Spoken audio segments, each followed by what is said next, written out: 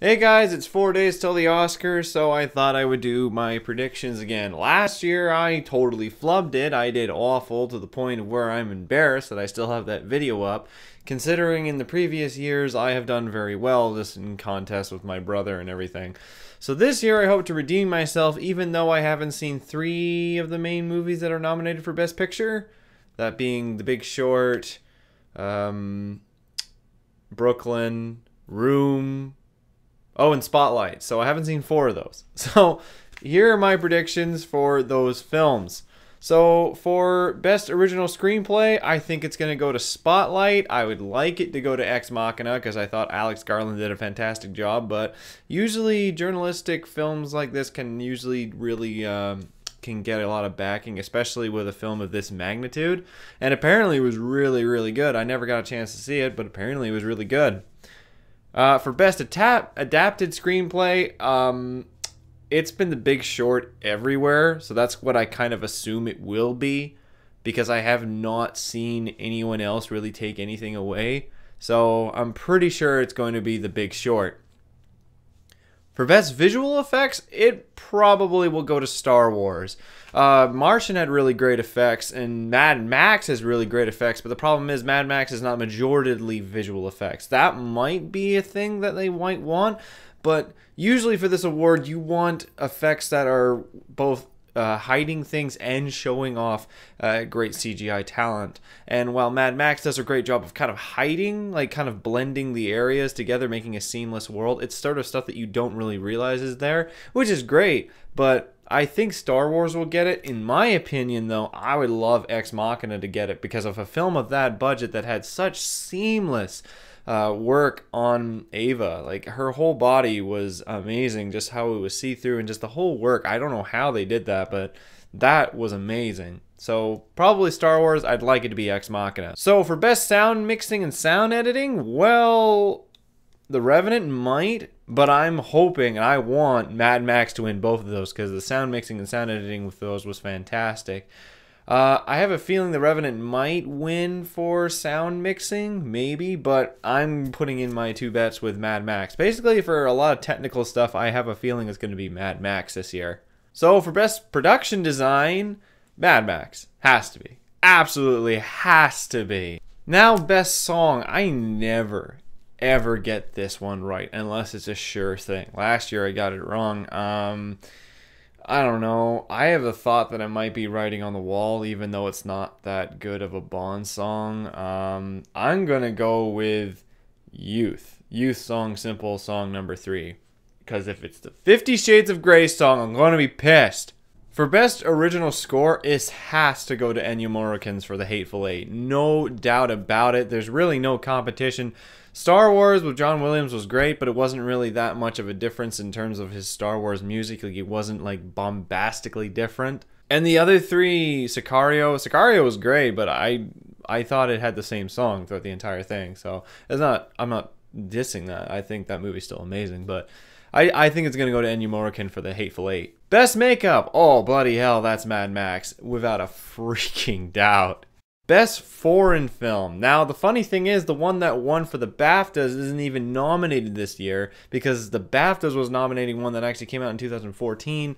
The Oscars didn't want to do it or something. I don't know. So, I'm going to go with Son of Saul. It might not win, but I have heard so many amazing things about it, and I've wanted to see this movie so badly. I missed a chance to see it earlier last year.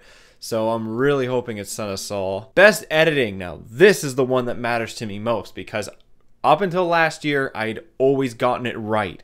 And last year I got it wrong, and I was very ashamed of myself. So I am going to say Mad Max. Now, some people might think, well, The Revenant has a bunch of seamless edits. The thing that I have against The Revenant is that you're able to tell when these cuts, these uh, manipulations are done. In Gravity and in Birdman, bloody hell, I could barely see them. But The Revenant, they were very noticeable. So I don't know. I don't think it's going to win. I think it should be Mad Max because um, George Miller's wife did an amazing job with this film, and I really think she deserves it. Best documentary. I don't know.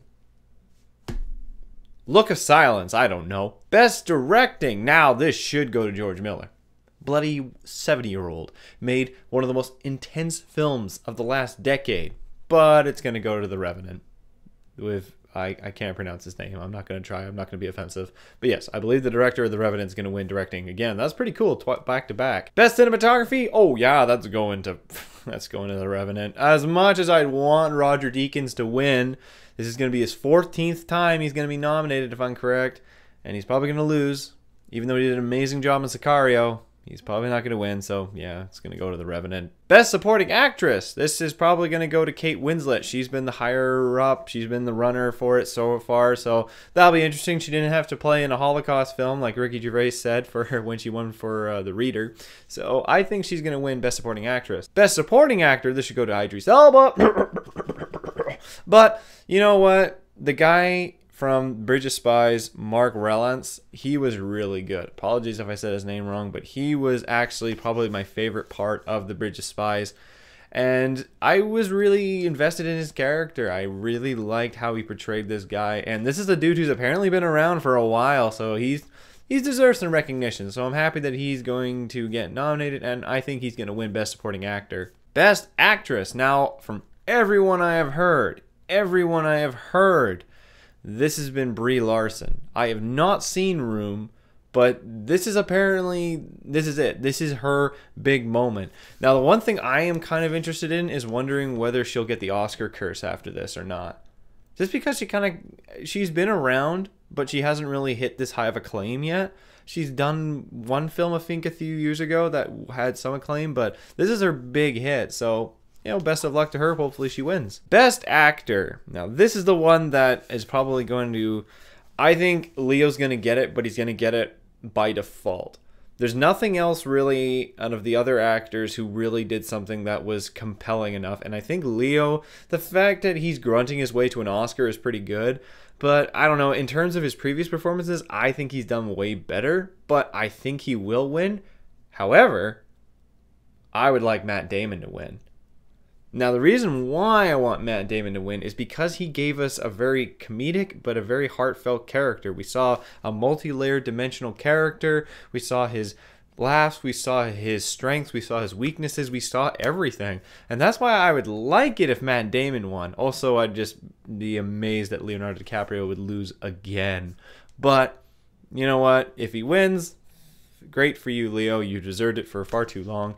If Matt Damon wins, however, I'm not going to be surprised, or might be a little bit surprised, but I'll also laugh. then finally, Best Picture. I wish it was Mad Max, but it won't be. The Oscars aren't going to go with that. They didn't go with Inception. They haven't gone with action films in the past. They chose Shakespeare in Love over Saving Private Ryan, so they're probably going to go with The Revenant. The Revenant definitely is a fantastic movie to watch.